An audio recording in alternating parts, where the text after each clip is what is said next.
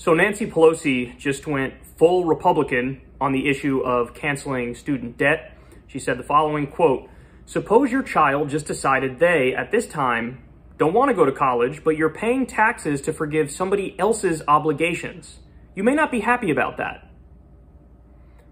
So, I mean, let's point out the obvious. If you give people the option of your tax money goes to paying for people's college and paying for people's health care, or your tax money goes towards Wall Street bailouts and endless war, which one do you think people are going to pick? So what she's saying, I think, is just factually wrong, and there's a poll to back this up, by the way. 58% of the American people, according to a recent poll, support tuition-free college. So again, when she says, I'm going to repeat it, suppose your child just decided they, at this time, do not want to go to college, but you're paying taxes to forgive somebody else's obligations, you may not be happy about that. Um, could not disagree more. And for the record, that is just a flat out Republican argument. She's using Republican talking points to make her case.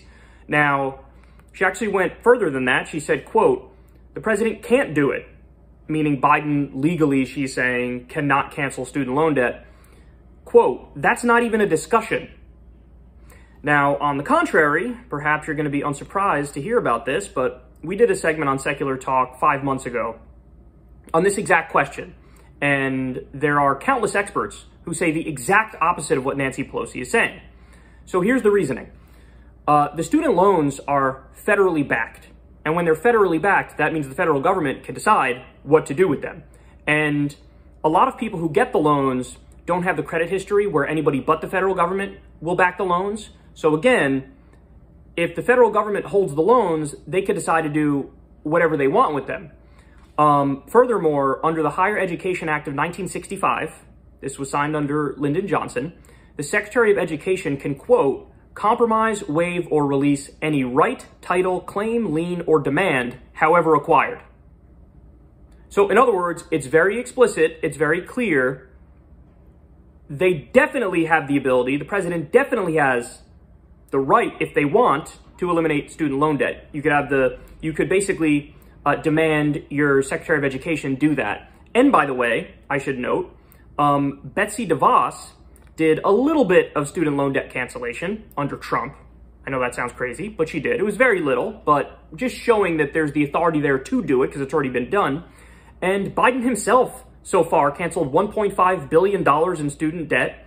Uh, and he did it, unfortunately, only for uh, for-profit scam colleges, basically. So he said those colleges we now know were fraudulent, and so we're just going to eliminate that. And they did. Now, in total, we have $1.7 trillion worth of student loan debt, so we're nowhere near abolishing all of it. Uh, and 43 million people hold that debt, but he definitely has the authority. So in a weird way, she's right when she says there's not even a discussion about it. Correct, Nancy. There's not even a discussion about it because everybody who's a serious expert agrees, of course he has the authority to do this. And you even have people, you know, the hardcore Noam Chomsky leftist uh, Chuck Schumer is even saying cancel $50,000 worth. So on this one, Nancy is just making flat out Republican arguments, and it's absolutely pathetic. And with Democrats like this, who needs Republicans?